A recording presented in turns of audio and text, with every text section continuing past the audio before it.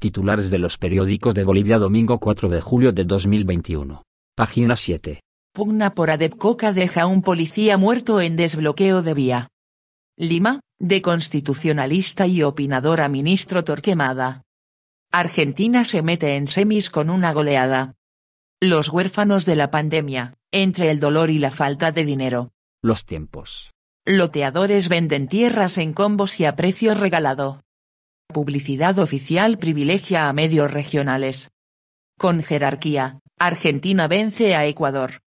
Muere policía en Yungas en pelea campal con cocaleros. El deber de Santa Cruz.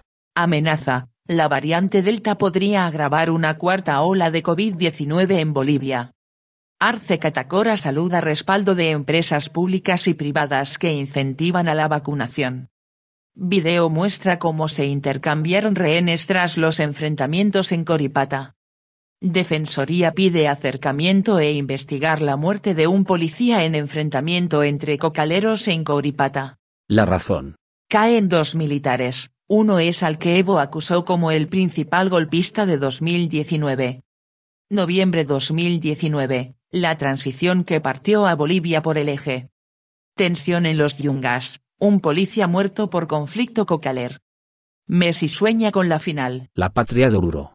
Policía confirma el deceso de un efectivo durante desbloqueo en Coripata. La semana venidera cada municipio determinará la modalidad de clases. Las unidades de terapia intensiva siguen colapsadas en Cochabamba.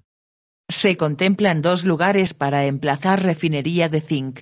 Correa del Sur de Chuquisaca. Conflicto entre cocaleros deja un policía fallecido. El departamento reporta cifra más baja de contagios luego de 27 días.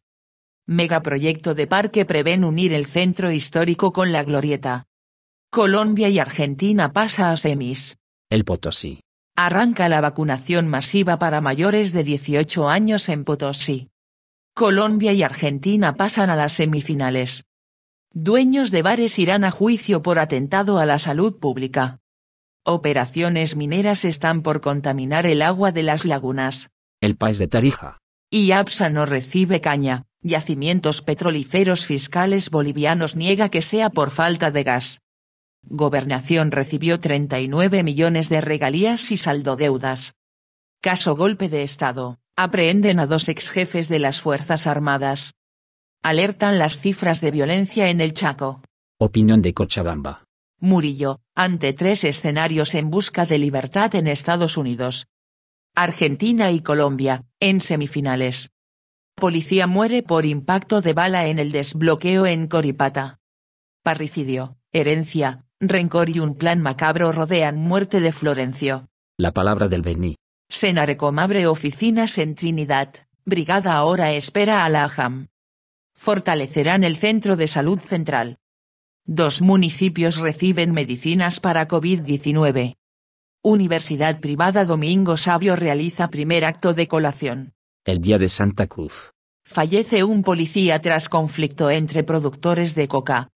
Perjuicio. Más de 500 camiones se encuentran varados en la región fronteriza entre Bolivia y Chile. Detectan dos casos positivos de COVID-19 en la Feria Barrio Lindo. La Organización de Naciones Unidas critica el papel de las redes sociales durante la pandemia.